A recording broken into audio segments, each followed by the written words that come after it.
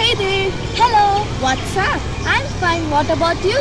Fine, thanks for asking. Well, do you know something? What? It's about dinosaur, the great lizard. Dinosaur? Say it aloud. I'm very curious to know. It means terrible lizard. A lizard? How can you say a huge animal a lizard?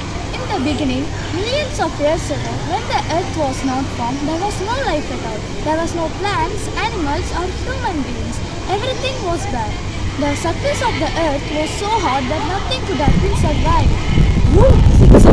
How all creatures started their life?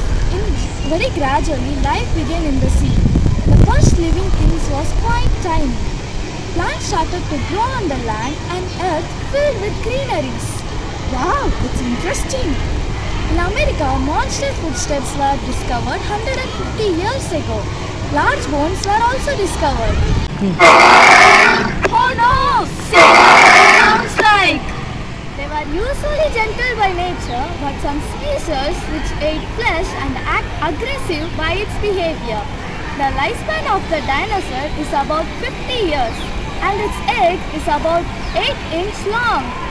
Wow, thanks friend. I have learned something new today. It's my pleasure, friend. Catch you later.